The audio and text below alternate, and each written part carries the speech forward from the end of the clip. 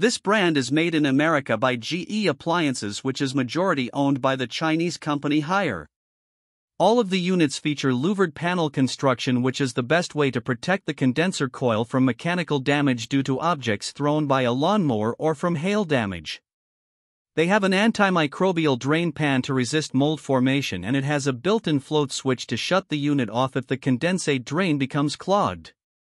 The guarantee on the units is not as good as many brands and the units use R410 a refrigerant which is not as environmentally friendly as brands that use R32.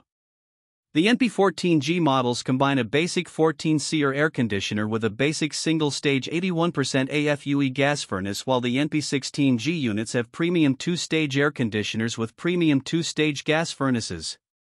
The brand does not offer a model that qualifies for the HVAC Repair Guy Ultimate category. This brand receives an overall 2-star don't buy rating from HVAC Repair Guy. Please share your experiences with this brand in the comments section of the HVAC Repair Guy YouTube channel.